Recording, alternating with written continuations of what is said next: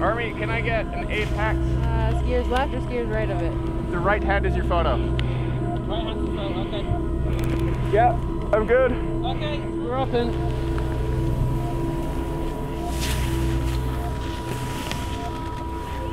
My name is Reuben Krabbe, and I'm a professional ski and mountain bike photographer. And I grew up just downstream of here in Calgary, and it was my family's pastime to go out into the Rockies and go explore them.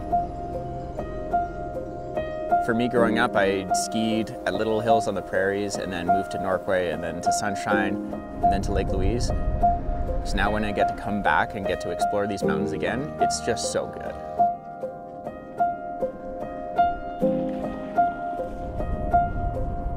I get to see them in a different way. When I grew up amongst them, they were sort of this cool playground that you could run around in.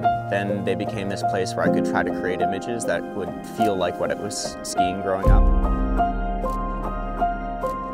And now I get to continue to evolve that sort of experience of being in the Rockies. And every single time you come back, it just gets better and it gets different. The mountains are really just the same, but your perception of them starts to change.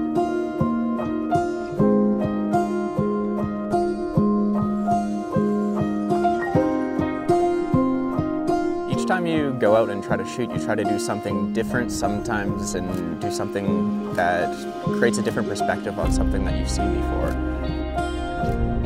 And working with the ambassadors, they help sort of point out stuff that they've seen in the mountains and you can sort of collaborate on trying to get everyone's vision together into one photo.